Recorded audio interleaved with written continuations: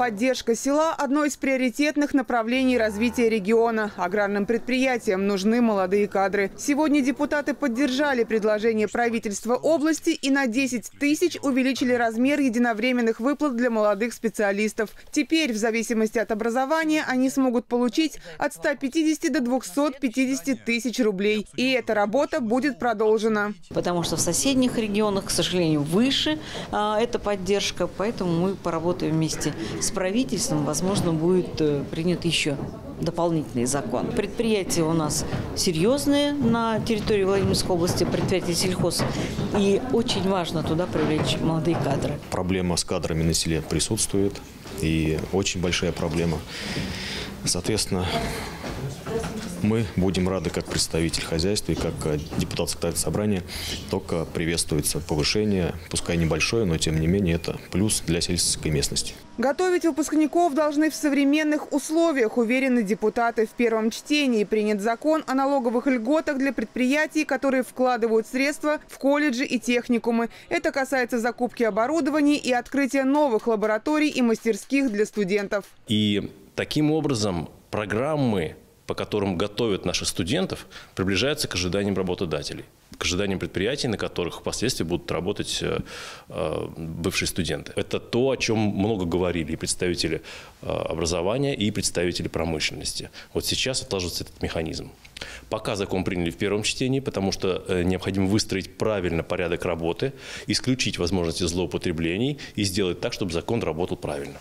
В рамках парламентского часа с докладом перед депутатами выступил заместитель губернатора Владимир Куимов. Вместе с итогами работы были озвучены и ключевые задачи на будущее. Одна из них – капремонт детских садов. На это обратил внимание президент России Владимир Путин в послании Федеральному собранию. Вице-губернатор отметил, областное правительство уже готовит документы для участия в федеральной программе. И мы планируем предложить примерно по 10-12 детских садов. Это будет порядка 4 400-450 или чуть меньше миллионов рублей ежегодно запроса федеральный бюджет Российской Федерации. И э, далее всего Владимирской области на капитальный ремонт детских садов по нашим предварительным расчетам из тех цифр, которые я сказал, потребуется объем денежных средств в размере 2,6 миллиарда рублей.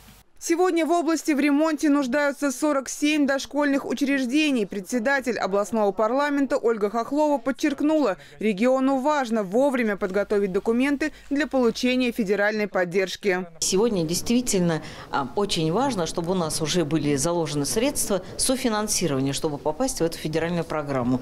Я надеюсь, что у нас все получится, и мы вот этот вопрос, который давно стоит уже во всех муниципальных образованиях, как только начали школы ремонтировать, сразу же вопрос стал, а детские сады? Там нужны тоже современные условия и есть современные требования. Уверена, что мы войдем в эту программу и будем работать. Еще одно важное решение законодательного собрания – новая мера поддержки родителей, которые воспитывают детей с целиакией. Это редкое генетическое заболевание, связано с непереносимостью глютена. В области 22 ребенка, которым нужна строгая диета. Закон о социальной помощи таким семьям депутаты разработали вместе с областной прокуратурой. Уже с июня родители ежемесячно будут получать по одной тысяче рублей. Оксана Любимова и Евгений Адамов это нас.